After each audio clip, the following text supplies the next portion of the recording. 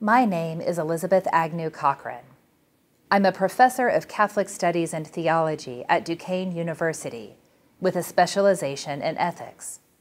This video is the first in a series of conversations about what it means for autistic individuals to flourish and what assumptions need to be re-examined in order to create a more just society. I'm a Christian theologian, and my own views of what it means for humans to flourish are informed by that tradition. But the concept of flourishing is understood in different ways in multiple academic fields in the humanities and the sciences. In all of these fields, we can enrich and expand our views of what flourishing looks like by recognizing that neurodiversity is part of what it means to be human. The panelists who share their perspectives in this video, Sarah Scott Dietz, Joellen Marsh, Father Matthew Schneider, and Michelle Wright, approach the topic of flourishing by using their academic expertise to reflect on the nature of flourishing, their own experiences of neurodiversity, and their commitments to the Christian faith. I learned a lot from talking with these panelists, and I hope that you will as well.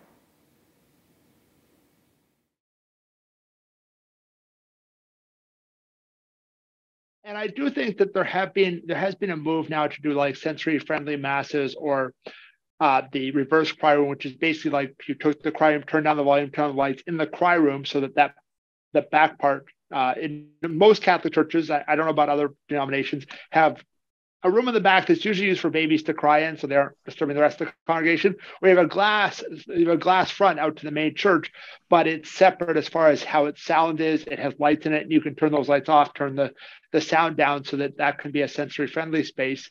And it's so much so that uh, an article uh, a few months back called it the you know the mainstream view, but then it's like I keep a directory on my website of like the the parishes that are doing it, and there's 16 in the country on my website. I might not catch them all, but my suspicion is, you know, we're dealing with less than 0.1% of the parishes because, you know, we have what, 20,000 parishes.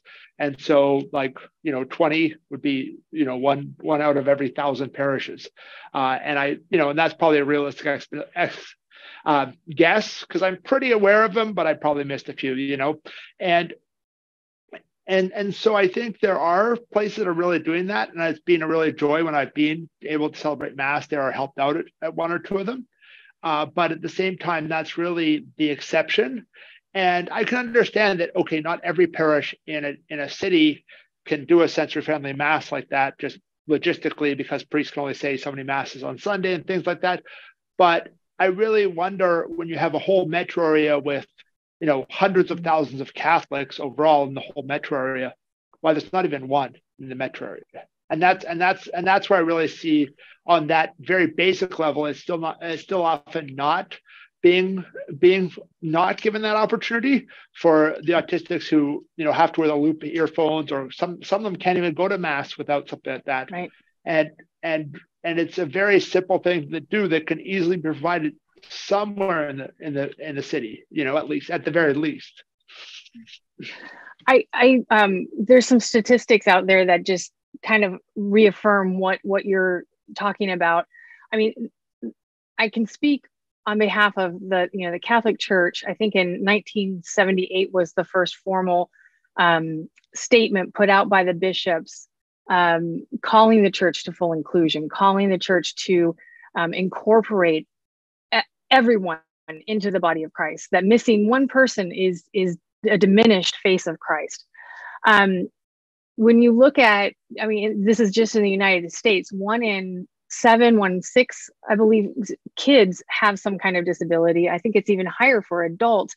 Then that's going to include um, autism. It's going to include ADHD. It's going to include um, developmental disabilities. You know, all, all the whole gamut.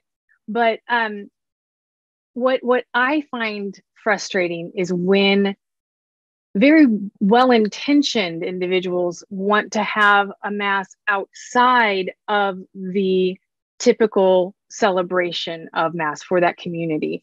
Um, you know, there's lots of places that have the sensory friendly mass maybe on a Sunday afternoon where, you know, individuals that might have a hard time you know participating in a in a typical mass that well they can go in and celebrate mass over here and again i'm i know that that's very well intentioned but it's missing the point. They're, they're part of the body of christ and the body of christ needs to be educated and welcoming to to everyone and uh, every ability every everybody.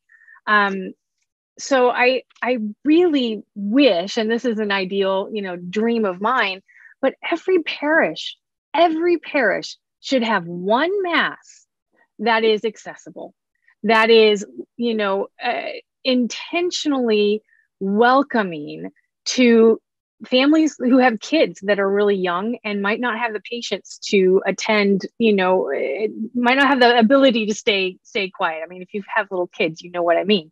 Um, you know we're, we're, we're the the parishioners like the ones who go they know like the music is going to be a little bit lower the lights might be a little bit lower we don't need incense at every single mass. I, I i love incense. I think it's great but i don't think it needs to be used at every mass you know?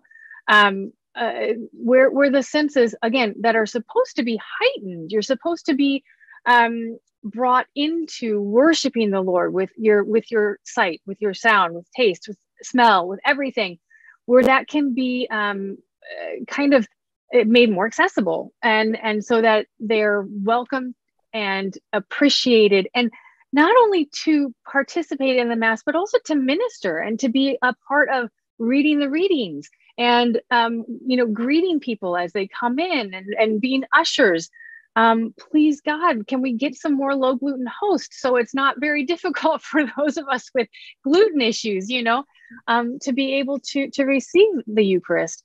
Um, I think that there's a lot of things that we could do if we were aware.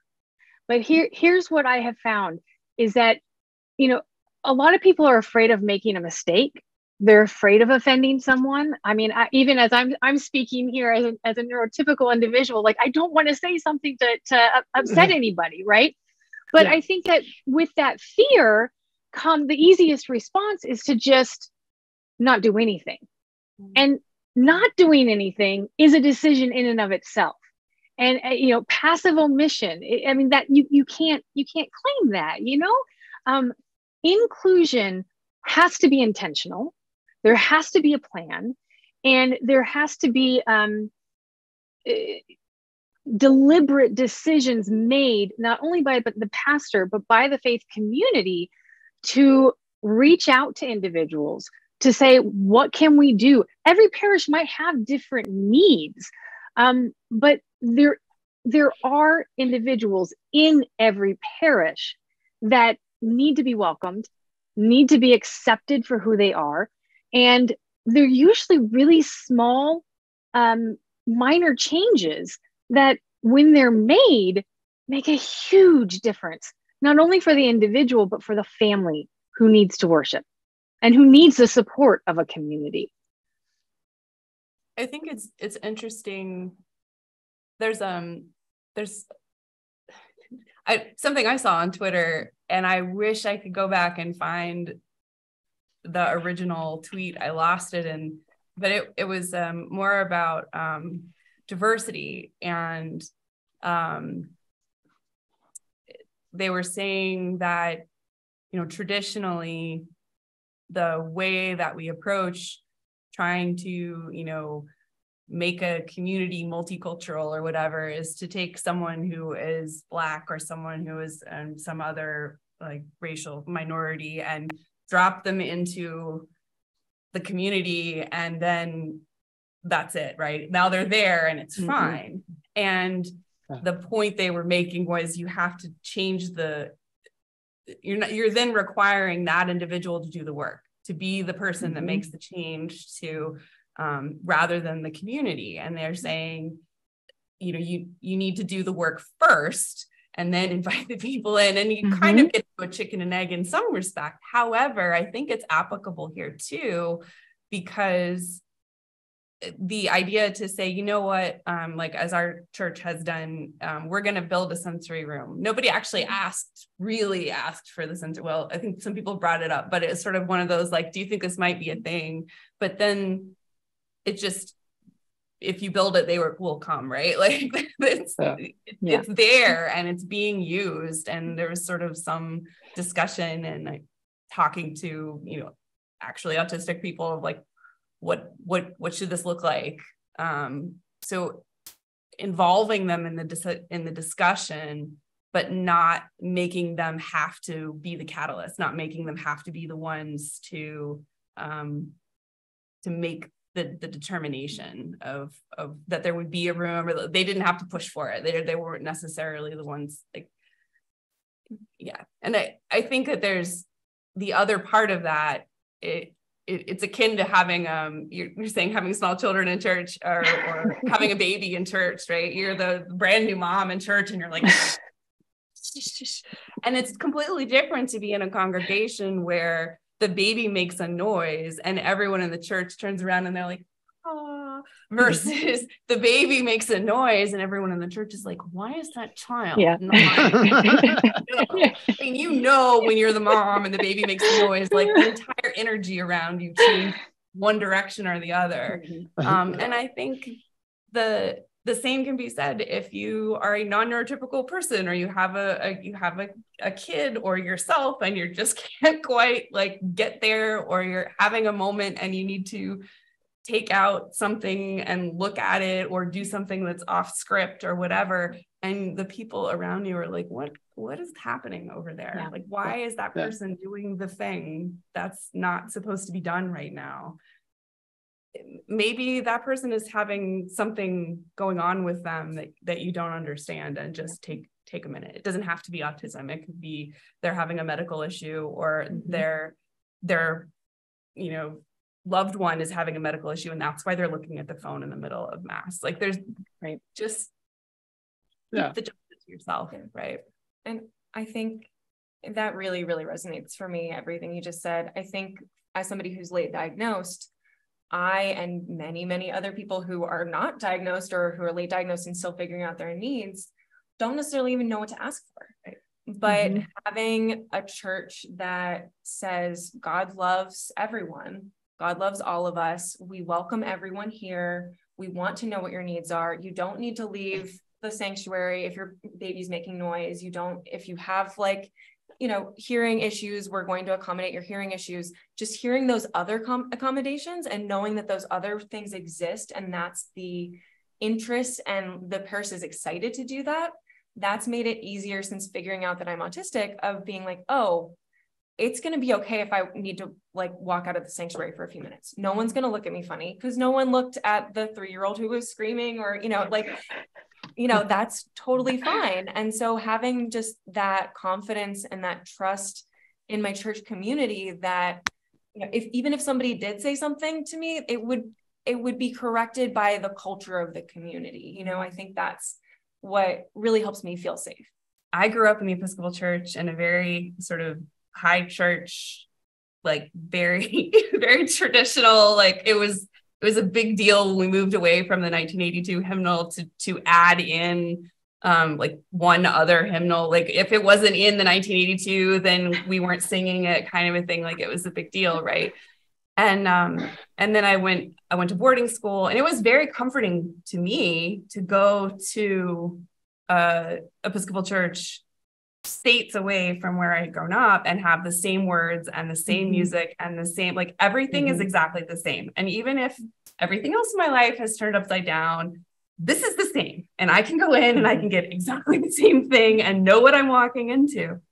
And then in high school and then again in college and then again as a young adult whatever people kept trying to say so we're going to do a cool new mass we're going to we're going to we're going to do a a praise thing with a guitar and some stuff. And, you know, on the one hand, cool.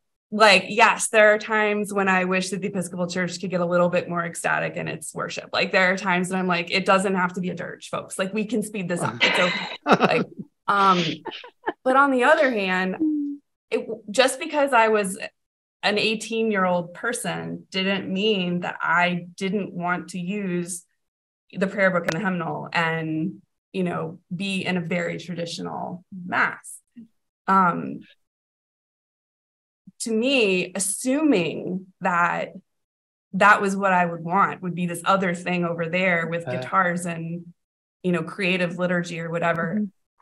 is kind of hurtful and offensive and it makes me feel like well should I not like this other thing like am I not in the right place or am I not welcome at this other thing because I'm young and um and I think but at the same time they were doing that because there were people that wanted that right? There are there were people that wanted guitars and a creative mass and whatever and they wanted to do their thing.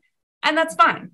I'm not judging them. It's just not my thing right? So it's fine to me for a parish to say we have a sensory friendly mass and to offer some other like other way that's a smaller group that's in a smaller area or and it's quieter and they change the lighting and they do it that's fine. But i think the the emphasis has to be if this is completely optional and mm-hmm. you are still mm-hmm. welcome at the main service. You are mm-hmm. you are part of this body and you are part of this community. We have this other thing if you want it but you don't have to. You can still be yourself and be with us over here.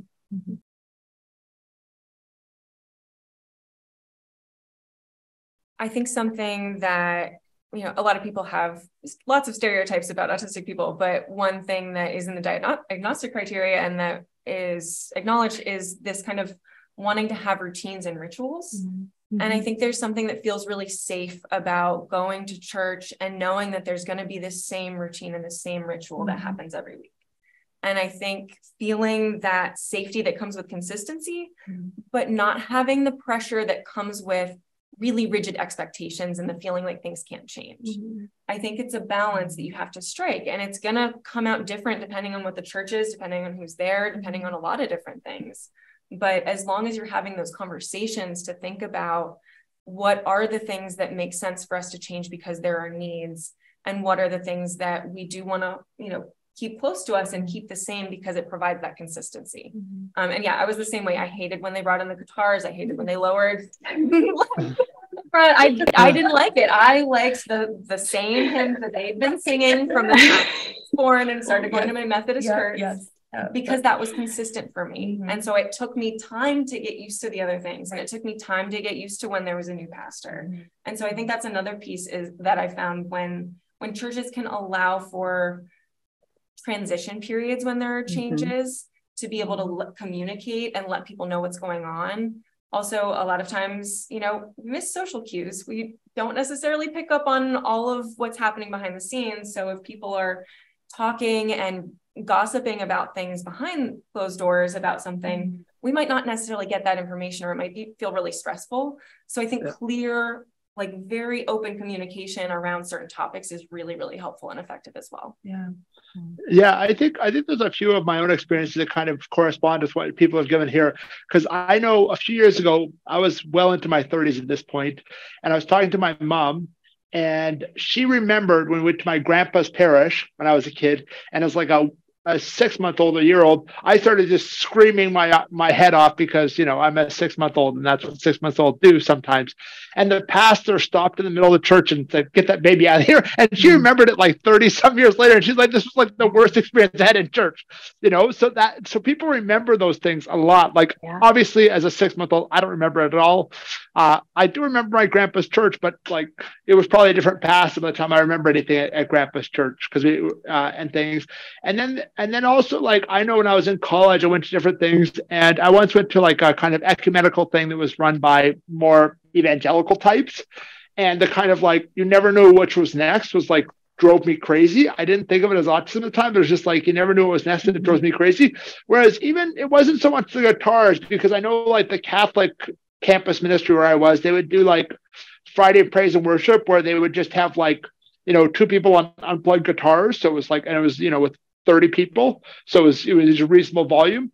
And you know, we'd sing, we'd do a praise and worship for 45 minutes, then we'd, you know, play board games for an hour or something, you know, classic campus ministry type thing. And that worked out because it was kind of a consistent one. Okay, we're gonna sing for 45 minutes, then we're gonna play Pictionary for an hour or whatever else and things. And then going back to uh, I think Michelle brought it up uh, about uh, the the idea of not just like that main accept that first level acceptance, but I think the next level is really finding roles in ministry, like she was talking about ushers and things like that. Because I think that for us, for anyone, it's it's not just to like, hey, they're minister to, but they become the ministers. Right. And and I mm-hmm. know uh, Bob Quinlan, who I don't, I think he's retired now. He used to be with the National Catholic Partnership for Disability. I, yeah, I think he's retired by now. Uh, I right when I was diagnosed, so I had I was at uh, I had filmed a video of like a Catholic event, and he had, and I was asking him like how to better live the social doctrine of the church, and one of them was him talking about this, and then I filmed that, and then like five days later, I edited it but in those five days, I got my formal autism diagnosis. So like it was very different watching his his responses. You know, even though it was five days later, because I just got got my own like you know my own diagnosis in that sense, where where I realized you know it's I realized that yes, it's not just that we are able to you know get to mass and we're ministered to but autistic people need to become the ministers and to find those things where we have the skills or, or other things like that. Like for myself uh, you know being a university professor or something like that very much matches where i don't have to you know i don't need much of a as far as accommodations from the university. I don't have to be like constantly you know, fighting overwhelm, sensory overload, or constantly misreading, like constantly misreading student, people's cues that makes problems and things like that. And so my autism diagnosis was part of what led me after like I was diagnosed as a priest. I should mention that uh, led me to uh, becoming uh, a professor in that as a ministry, as a priestly ministry. So in that sense, because it was realization of that, and then say, okay, what kind of role that priests usually do best fits the skill sets, knowing you're autistic, and you know maybe going back to a parish, going back into uh, youth ministry, or going back in, or going into like spiritual direction is probably not the best fit for for mm-hmm. your kind of for you in a situation like that, uh, because you're going to make I'm likely to make a lot of require a lot of uh, downtime to catch up you know from all the overload or require you know require a lot of combination or, or make a lot of mistakes and things like that whereas here i can really i'm really able to flourish much better because of that self knowledge that came with the diagnosis in that sense. Yeah, what you're talking about reminds me a lot of when when I'm working in public health and public safety initiatives. A lot of the time, if you're at you know government tables where they're bringing people together to talk about whatever the issue is, a lot of the time they'll say we need to talk to people with lived experience, mm-hmm. and it's always in the us and them mm-hmm. thing and I talked to several, you know, several other people in many different circumstances where it's like, but we're also here. Like mm-hmm. it's also us. And I think it can be really hard when everyone is assuming that there aren't people with mental health issues, mm-hmm. there aren't people who are autistic, there aren't people with substance use disorders or in recovery who are already at the table. Then it can be really hard to, to like raise your hand and say, "Oh, that's me," actually. Mm-hmm. Mm-hmm. And and I think that's it's around about the language and about the assumptions about making it welcoming for people to share their own experiences when they're in those positions of leadership i think finding finding a way finding a way to yes for people is really important mm-hmm. um you know so if you have if you have someone who says i really want to um be a reader but i'm I can't I can't do it with under these circumstances or there's you know I need the reading 3 weeks in advance so that I can prepare for it like find find a way to to make it work you know find a way to to say yes to that and find a way to to let people know that that's a mm-hmm. possibility that if they want to do something that the parish will support trying to figure out a way to let them do it mm-hmm. um,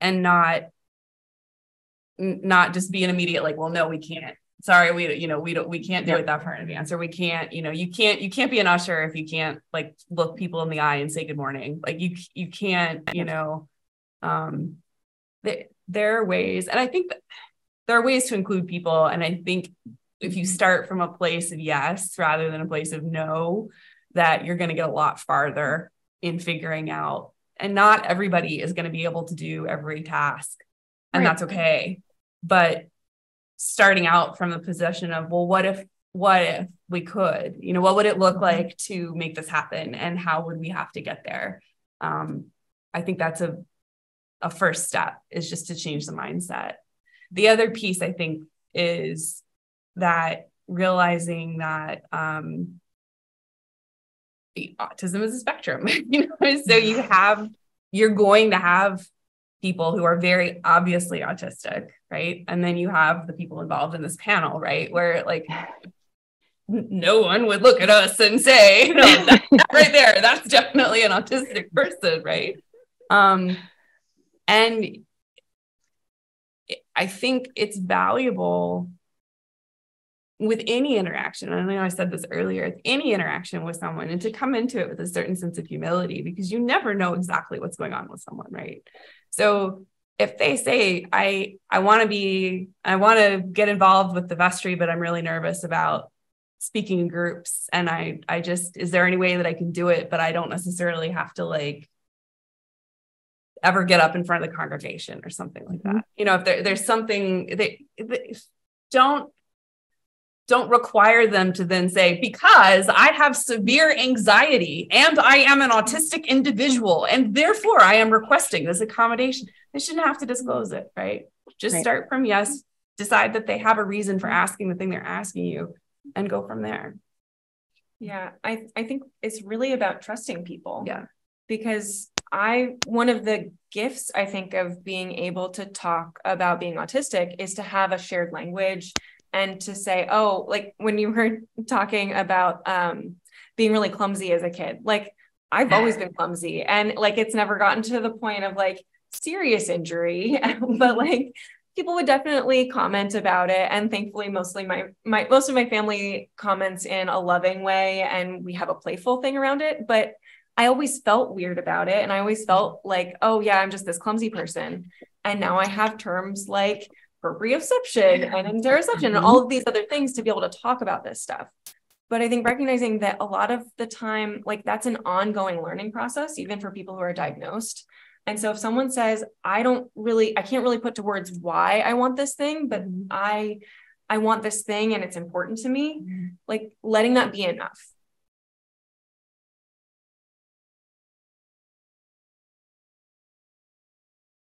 Earlier in the conversation, there was a point where one of you raised the language of accommodation. And I found myself thinking, is accommodation really exactly the right thing, or is an accommodation enough?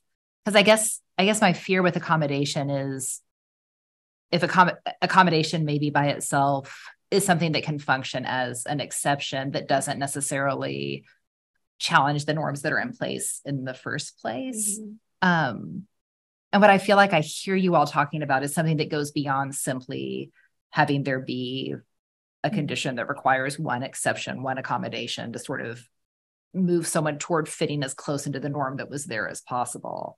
Um, and instead, sort of, I don't know, having enough grace or enough sort of expansiveness in your understanding of what it means to to be a leader, to be part of a community, to um, to be a, an active and, and like worthy participant in a community that you're you're moving beyond simply accommodating someone for falling short of your narrow standard and instead broadening your standard into something that's that's different? Yeah. Well and i think there's a difference in accommodation uh you know like if you're dealing with you know something that's very particular and something that's more general if that makes sense like like i like because I, I i think i mentioned accommodation i don't need much accommodation being a professor but let's say i was at some other job and they had a chair mm-hmm. that was good for most people and then they just assigned that and that was like the chair that they used just for to be you know you know nice and like 99 percent of people it's fine. And the one person's like no i need this other chair because of whatever else. And you know like legally they have to they have to allow that if there's you know if there's a valid reason uh, according to the ada uh, you know and i think that there's something like that or somebody who's who needs something very specific in the church. Like i remember re- talking to one of the people running a uh, sensory friendly mass and for one person the flicker of flames just bothered them a lot of like of candle flames, sort little tiny, tiny flames, which usually like even for most autistic people are not a bothersome source of light. So they had to accommodate that person and how they did the liturgy there. But I wouldn't say everybody does sensory friendly mass has to use electric candles because that that among even people who need a sensory friendly mass or a sensory, you know, whether it's at a parish or a, for a, for for a parish or for a diocese, that's going to be like a very narrow. Even in that group, it's going to be a small number who need that specific thing. Whereas there is kind of more general things you can do that that that help a whole bunch of people. If that makes sense, at mm-hmm. least that's how I would how I would view it. Is that distinction between like what's going to help a whole bunch and what's going to help like a very very narrow structure, and you have to make exception. You you make an exception for them, but you don't you don't have to like change everything you do for a one in a million case. Yeah, I completely agree. I think there are some best practices that would be helpful mm-hmm. for kind of instituting across the board that would make things more helpful, not just for autistics, but also for everybody.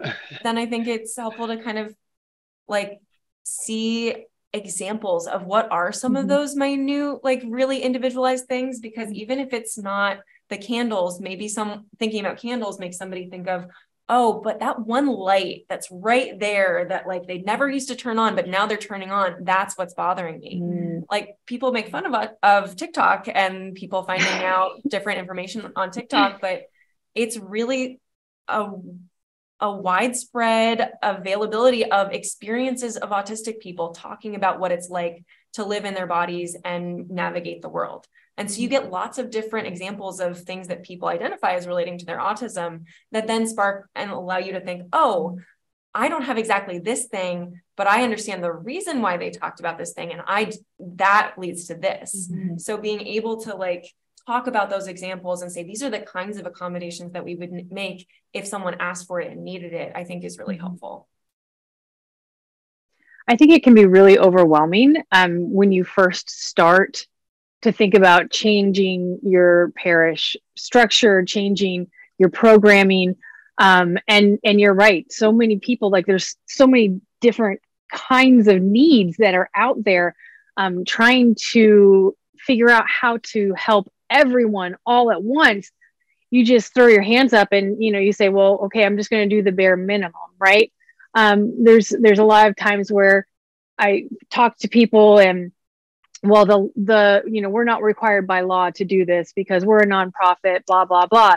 You know well what we're not required to do by law we're required to do by love yeah. right? And and i mean like that's really what this is all about right? Um and uh, mother teresa see, you know just love the person in front of you. I think the enemy wants to distract us by you know all of these different thoughts and all of these different accommodations and you have to do this and you have to do that. And if you offend someone you'll get canceled right? Um love is messy. Love is really really messy and we can't be afraid of the mess. If we focus on loving the person in front of us and if we can try to all just know that we're trying to do our best you know and if we make a mistake apologize right but if we can love the people in front of us, love the people in our immediate community, we're going to learn. And we're going to change that one thing and then we're going to learn something else to change and and it's going to slowly build and grow and the community is going to be formed. And and i think that it really does start with that change of attitude to say yes let's figure out a way to make this happen. How can this realistically you know change in our parish to, to help you become a more um, welcomed member of the parish because you're important. And one person not being welcomed, it diminishes the body. This conversation explored different theological and scientific accounts of what it means for human beings to flourish, what it means for autistic human beings in particular to flourish and what sorts of impediments interfere with flourishing. To hear more from our panelists about the ways that Christian churches can support autistic flourishing, I encourage you to watch for our next video, Autistic Flourishing and the Church. Thank you for joining us.